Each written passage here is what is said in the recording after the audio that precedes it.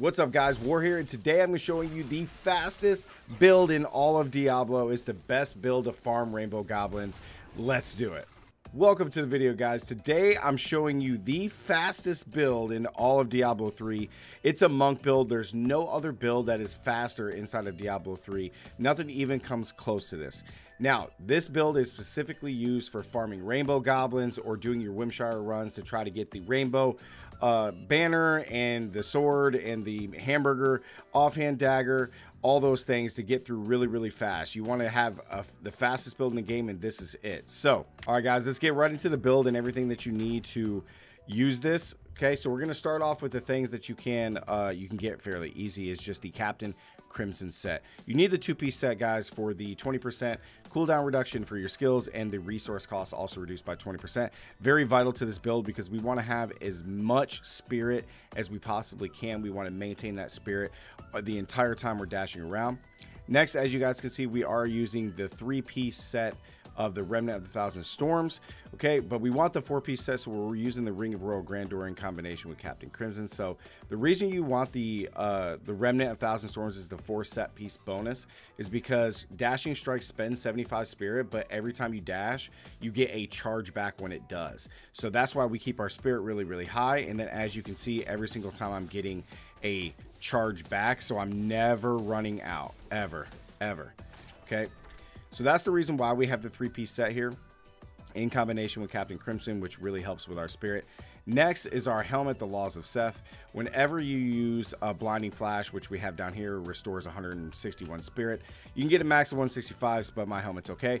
Um, this is really good. You're just to dash around. when If you feel this is getting low, you just Blind Flash, and then you get your spirit back. Um, next is going to be the, the two weapons, guys. I'm using the Flesh Rake and the Crystal Fist. Crystal Fist, every time you dash, you get damage reduction, which is huge. This build is very, very squishy. And then with the Flesh Rake, every time you dash, you get uh, damage increase for one second, stacking up to five times, which is really good because as you dash around, you're going to be hitting mobs and killing monsters because you're playing on such a low level. So it helps to have increased damage, you know, so but we're not really worried about dealing damage. We just want to dash around. This just kind of helps. Next is going to be our amulet and rings, guys. I'm using Squirt's, but you can use anything here. I actually need to have a different one because you want to have as much cooldown reduction and resource cost reduction as possible. So I really need to swap this out, but I did want to have the little bit of extra damage and then, you know, uh, just to be able to take out a little bit more of those mobs, you know, even though I am playing on a lower level. Uh, the two rings are Obsidian Ring of the Zodiac and the Rachel's Ring of Larceny, guys. The reason we want the Zodiac is because we're going to reduce our, our cooldown uh, per stack that we get, which is awesome. We want to keep these skills up as much as possible.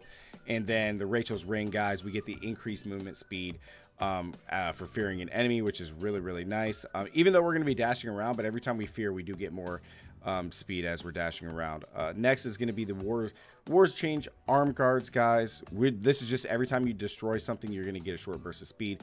This is great because you're going to be dashing around so much. You're going to destroy a lot of stuff because the uh, the gems that we're going to be using are going to help create a lot of damage or just passive damage. So this is really good if you want to get by really fast. If you want to change this out, I guess you could, but this just helps get you around even faster. All right, going to our gems, guys. We are using Boon of the Hoarder, you want to get all of the this to 50. You want to max it because every time you pick up gold, you get increased speed, which is awesome. Uh, Gogok, swiftness is great. You get the dodge effect, so you don't take a lot of damage, but you get the percent cooldown uh, on top of uh, the Obsidian Ring, which is insane. And then um, you want Wreath of Lightning. This is the passive damage that I talked about because while you're you're zapping things, this trigger you know procs the, the arm guard, so you get you know a short burst of speed from the arm guards, and then you're getting increased movement from the uh, Wreath of Lightning. So this is really great. This is just an overall speed build, guys. It's freaking insane. The gems we're using is the um, what is that one? The gem to reduce uh, resource costs, and then we got diamonds in here uh, for just a little bit added uh, defense. Even though you're playing on a normal level, like you can play this on normal. I play on Torment 2 or Torment 1, but you really just play this on normal. You're using this just to primarily speed farm uh, goblins and rainbow goblins and and speed farm for the you know the rainbow like I mentioned. So onto Kanai's Cube, guys. Uh, we use Burst of Wrath. So when you kill enemies and destroying objects with the Wreath and then the Arm Guards, you're going to grant 20% of your maximum primary resource. You're going to have a chance to get that, which is insane. It helps keep this up.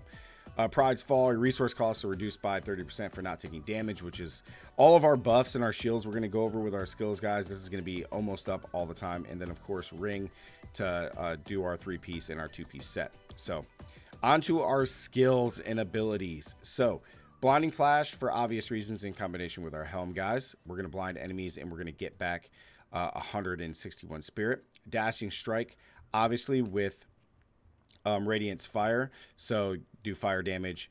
Uh, next is the Mantra of Healing with Circular Breathing.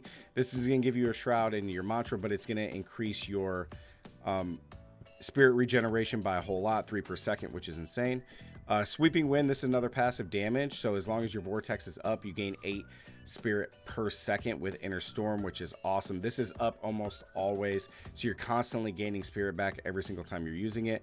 Uh, Epiphany Insight. The reason we took Epiphany Insight is because you're going to get 45 um, spirit regeneration per second instead of the normal. Now, if you are feeling a little more squishy or you want to play a little bit higher level, you could use um, you could use instead of that, you could do Desert Shroud for the damage reduction if you wanted to. You don't have to, but you could. Uh, last and certainly not least is Mystic Ally Air Ally. The reason we want Air Ally is while it's active, you gain 100 spirit. So if you do happen to get low, you just proc this and um, you get 100 spirit, which is insane. This should be up almost to the max constantly. Onto our passives, we got Chant of Resonance. Uh, this uh, reduces the cost of your mantra effects by 50%. You gain 4 spirit every second when you have a mantra up and then seize the initiative. You deal additional damage, which is great. Uh, increases your attack speed, which is great for sweeping wind and dashing strike. Beacon, no brainer, 20% reduced cooldown, and then exalted soul, which increases your max spirit by 50 and then regen by 4 even more. So we have non-stop spirit regen, guys, so that way we can continue to dash around. This is really great. We're going to go in and I'm going to show you why this build is so amazing in the old runes. We have our Staff of Herding, which is amazing. So we're going to go around and you guys can just see how crazy, crazy fast this build is.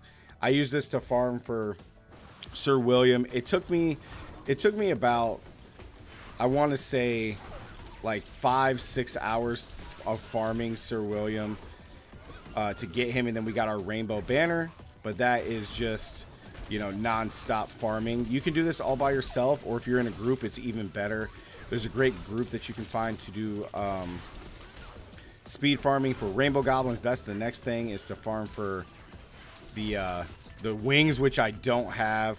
You know, it, it sucks that I don't have them, but I'm really trying to get them. But you guys can see that even doing this solo, you can just blitz across the map. It doesn't even matter. Like you're just you're just constantly farming these and you you just move so fast. There's just no way that you don't like just the, the runs it took me, I think, was I think seven and a half minutes by myself to do my run for Rainbow Goblins, and then doing this run is only like two to three minutes, if that. And then boom, we finish it. There's a little bit left right here, but that's just an opening. We'll clear it just to just so we have it done. It takes nothing but a second to get over here. But as you guys can see, a couple, not even a couple minutes, and we're already, you know, we're already done with this entire Whimsyshire. And what you have to do with this build is, is you're not looking to gain any resources whatsoever. You're not looking to do that. All you're doing is just trying to farm for those bosses. Sir William, you know, Sparkle Cakes, and then if you guys find Rainbow Goblins, you're just farming for Lillian to get the wings.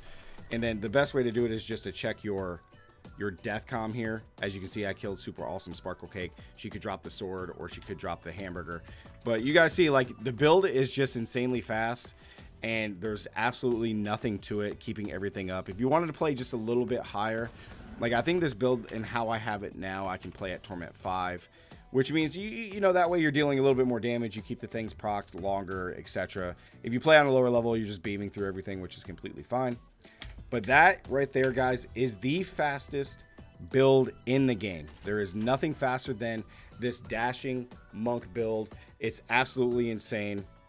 You guys, if you build it, let me know down in the comments how if you guys build it and love it. Let me know if this video has helped you with your farming for Rainbow Goblins, farming for Sir William, for the Rainbow Banner, etc. If you guys did enjoy it, make sure to drop a like, guys. And if you are new here, please subscribe. It really does help out the channel. We've been blasting Diablo content. The PTR is out now, so we're going to try to participate in that and uh, get ready for Diablo 4 next year. So I really do appreciate it, guys. Thank you so much for watching. And as always, stay gaming, and I'll catch you in the next one. Peace.